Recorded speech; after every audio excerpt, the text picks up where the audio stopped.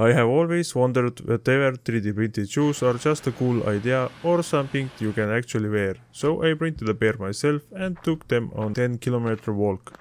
Here's how they held up.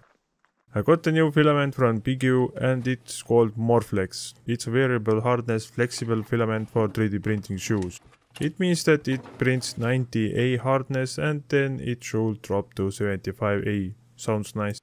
I have seen 3D printed shoes many times, and I always thought it would be nice to print a pair someday. Today that day has finally come. I am not a shoe designer, so I looked for ready-made models online and found these ones. I think they look great, and the original size is EU46, exactly my size. If you need a different shoe size, there's a chart that shows the correct scale for each size. I used the designer profile for H2D. I did change the nozzle size to 0.4 because I don't have 0.6 nozzle. With a 0.6mm nozzle, you can use a higher layer height, which speeds up the print. Fewer layers can also make the print stronger, reducing the chance of cracks forming between layers.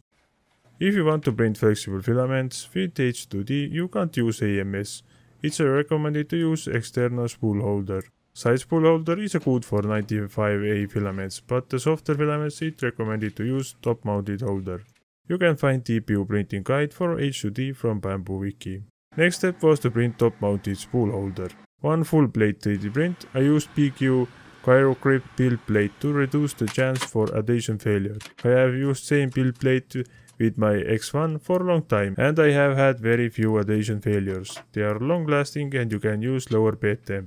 You also don't need to clean the plate often. I sometimes clean it with LCD screen cleaner. If you have adhesion problems, you should consider buying one. I also added link in the description if you are interested. Spool holder was printed and it was time to install it. It went smoothly, no problems with that. Besides the printed parts, you will need Bowden tube also. H2D supports printing with two different filaments. I use PLA for supports and MorPhlex for the shoe. PLA supports are easier to remove and with tall print TPU supports will start flexing too much and print quality will suffer.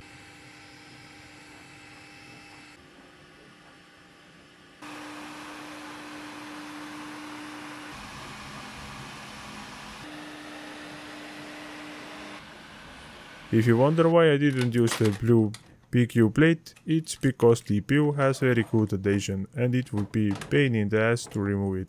You can easily ruin your print trying to remove it. So that's why I used original build plate, but it was still not easy job.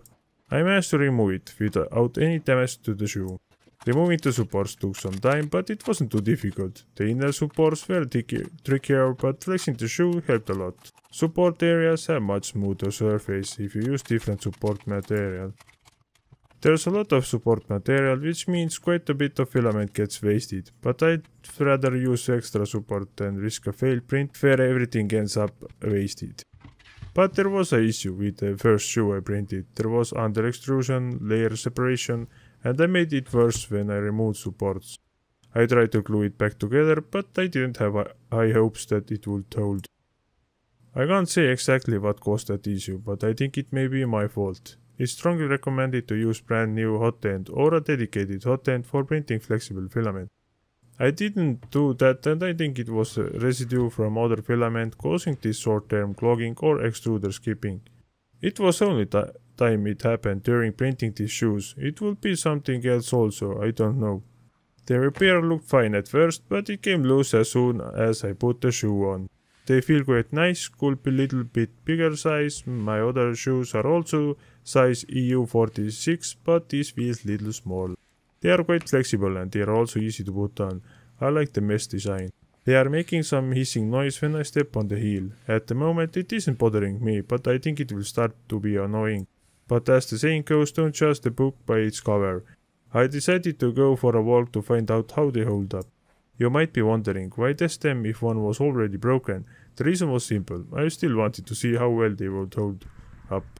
I put the shoe on and my smartwatch showed 0.22 kilometers before I started.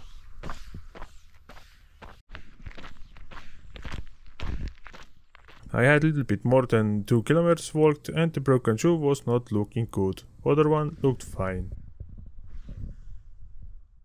I continued to walk, the broken shoe still stayed on and it felt okay to continue. The mesh shoes maybe not best choice for the autumn weather.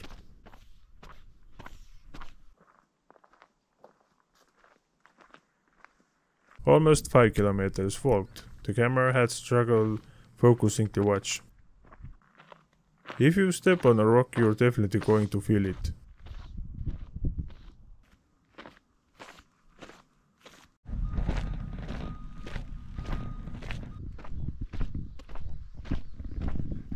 And the left shoe started to give up. Almost sliced all the way down. Right one didn't notice any damage. At around uh, 9 kilometers, I felt my foot starting to go wet. It was almost in two parts. I changed the shoe and continued my walk.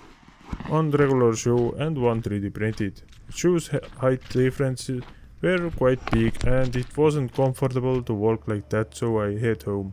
I walked about 10 kilometers total. Left shoe failed, not a surprise, but surprise was that it could walk almost 9 kilometers with it before it totally failed. If I took a quick look at right shoe, it seemed okay, but when I took closer look, I noticed some issues.